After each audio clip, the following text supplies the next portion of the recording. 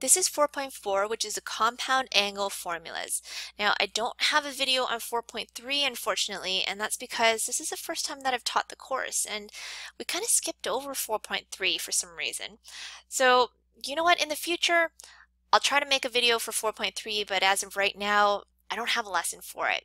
Okay, so 4.4, we actually learn about like 8 to 10 new trig identities. I know, isn't that crazy? 8 to 10, that's so many.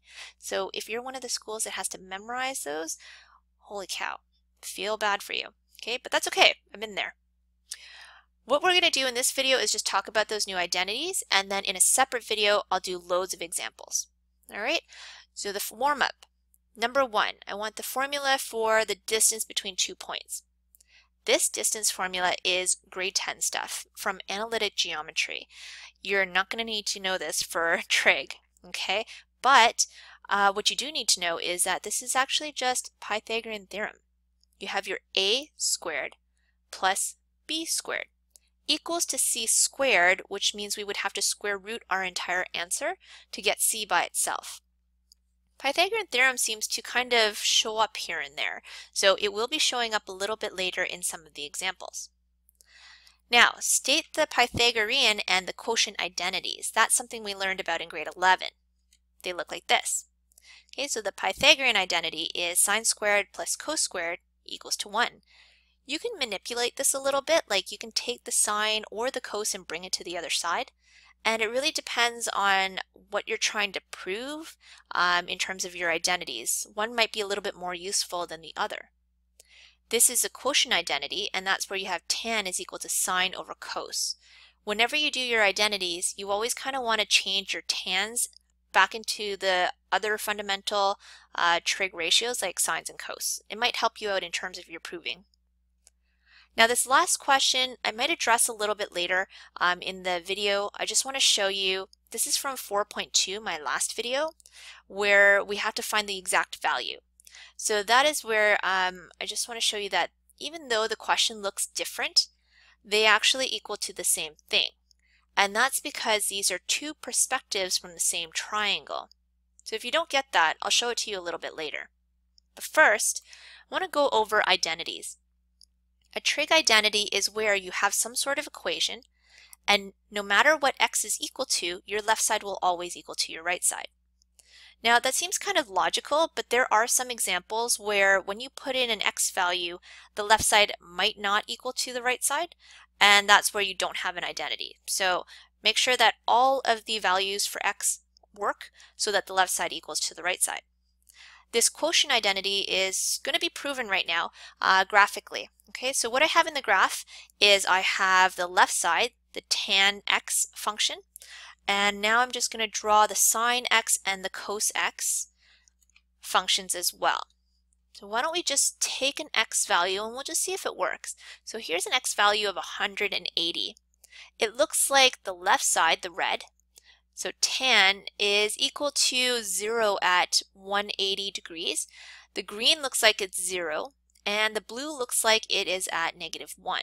So if I take 0 divided by negative 1, I get the red graph, which is 0. Okay, so it works. We could always choose other points along this graph, and it will actually always work. Okay, which makes this a trig identity. There are a bunch of identities that we know from before. So we know about the quotient identity, we already know about the Pythagorean identity and how to manipulate it. Okay, we also know any of the reciprocal identities. So anytime we see cosecants, secants, or cotangents within a proof, we can always change it to those other um, primary trig ratios. Okay, so like I said, I was going to go over that last question in the warm-up again to show you about the two perspectives of a triangle. Okay, so this is called the co-function identities, and they are right here.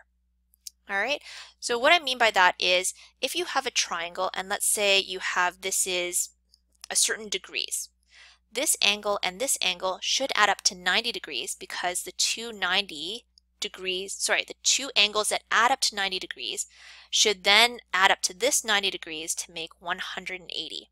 So what I've done is I've just written this as theta, and this will be 90 degrees, or pi over 2, minus theta. All right? What I also have here is, I'm just going to put my eyeball here to show you that my perspective is from this corner. Then that means this is going to be my opposite. This side will be my adjacent and that side will be my hypotenuse. And I've just labeled the sides A, B, and C. If I look from a different perspective, some things change. So the A, B, and C are still there, but now this side is my opposite. This side is my adjacent, and the hypotenuse has not changed. Okay, so depending on my perspective, the opposite and adjacent might be interchanged. The hypotenuse doesn't change though. What that shows you are these co-function identities. So for example, sine theta, so theta was our red eye. Okay, sine would be your opposite, so here's the red opposite over the red hypotenuse. That's A over C. So I got that in red right here. And that is equivalent to cos from the other perspective, the blue eye. So you have your cos, which is your adjacent, here's the blue adjacent, over the hypotenuse. That's still A over C, and that's why I put it in blue. So this and this are exactly the same. Even if we did this one, you'll see that they're exactly the same as well. So although I'm looking for my red eye or my blue eye, I could get the same answer either way. And that's how these co-function identities work. Now, these are all the other identities I was talking about. Crazy, huh? You have your compound angle formulas. Okay, so there are your addition and subtraction cos formulas. Here are your addition, subtraction, sine formulas, and then your addition, subtraction, tan formulas. All right. Again, if you have to memorize this from like your school, I feel bad for you, but I've been there. It's not so bad. Okay, so these are some things that you're going to have to keep in mind. Um, and why don't we try some examples? Okay, so this is technically kind of like an example. These are our last two identities, and those are our double angle formulas. Okay, so this is sine of a double angle. Now what I'm going to do is I'm just going to prove this one over here and I'll show you very quickly the proof of the other one. Okay, so if I have sine of 2x, we'll just say that that's the left side of our identity. Um, isn't that the same as one of the compound angle formulas. So that is the addition formula for sine, which is this guy right here.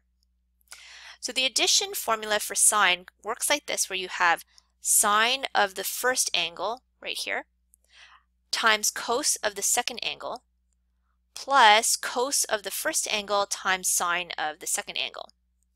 Okay, so what I'm going to do is I've divvied this 2x up into two x's added together. And instead of wherever you see a y, which is here and here, I'm actually going to put this red x instead. Okay, so let's see what that looks like.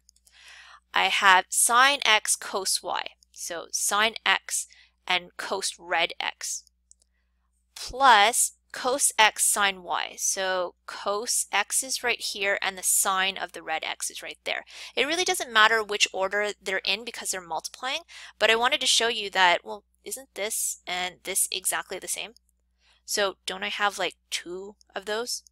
Okay, and that's where this formula comes in. And the other one, okay, so sorry, right side is equal to 2 sine x cos x, and we have to make it a legit proof by saying therefore left side equals to right side. Now what I want to show you is um, the very bottom of that which is the cos 2x proof. Okay, so here's cos 2x and I use the cos addition um, identity in order to prove the exact same thing. Okay, so instead of the y's, I replace them with an x because the 2x, I divided up into the two x's added together. And here we have cos x times cos x, which is cos x squared, um, or in other words, cos squared x.